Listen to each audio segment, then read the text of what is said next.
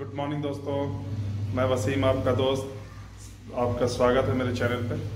तो आज हम ऑफ़िस जाने के लिए निकल रहे हैं और आज का मेरा जो वीडियो बनाने का स्टार्टिंग है, वो घर से ही किए है कि आज सोचा हूँ कि आज आपको फुल डिलीवरी मतलब टाटा की कार की कैसे होती है मतलब पीडीआई से लेके फाइनली डिलीवरी तक। तो आज उसका वीडियो मैं बनाऊँगा।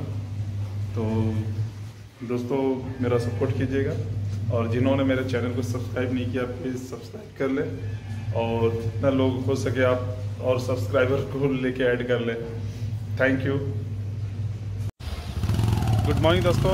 जैसा कि आप देख रहे हैं कि हम लोग अपने पहुँच चुके हैं शोरूम और शोरूम आने के बाद अपने यार्ड में आ गए हैं, जहाँ पे बहुत सारी गाड़ियाँ खड़ी हैं, जो कि मिलों के है और डेली का हम लोगों के स्टॉक में आता भी रहता है और कुछ कुछ निकलता भी रहता है।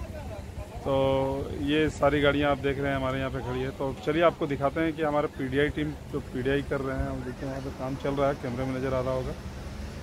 तो चलते हैं अपने साथी, अवधेश के साथ आया हूँ इधर, और आपको दिखाता हूँ कि पीडीआई कैसे होता है, उसके बाद क्या क्या प्रोसीजर है।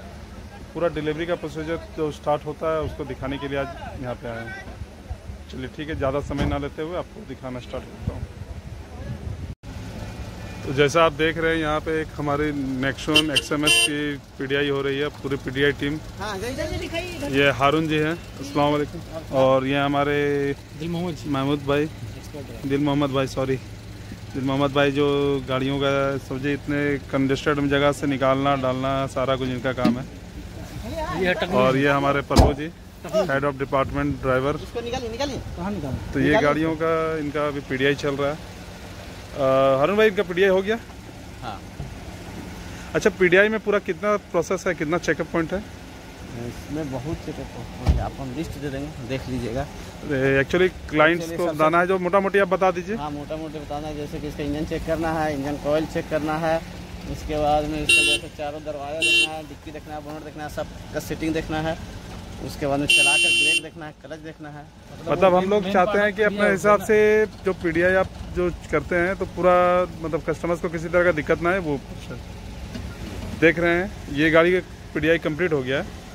ऐसा कोई कार अभी जो पीडीआई करेंगे हम लोग?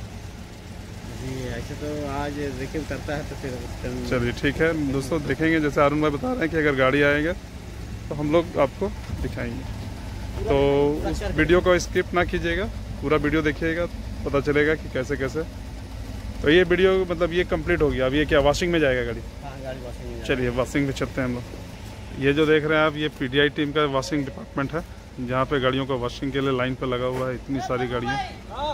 और मैक्सिमम नेक्सॉन और पंच है जैसा कि सबसे ज़्यादा डिमांड पे है। एक एनआरजी दिख रही है। तो नज़दीक चलते हैं हम लोग। जैसा देख रहे हैं कि मंडल जी बहुत ही ज़्यादा मेहनत कर रहे हैं गाड़ियों को।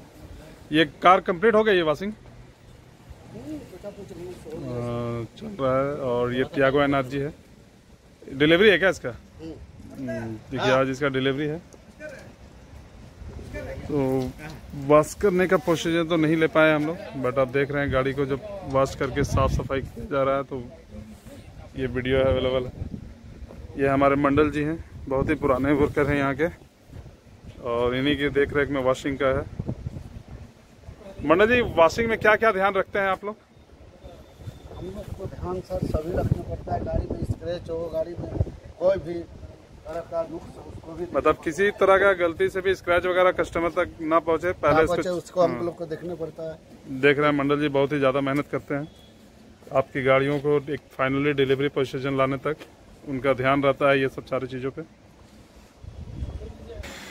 ये कार देखिए लगभग रेडी है। जब ये शोरूम पे आएगी तो फिर वहाँ से आगे का प्रोसीजर दिखाएँगे कि क्या क्या कैसे कैसे होते हैं। और ये वॉशिंग के लिए ध्यान से आ रहा है।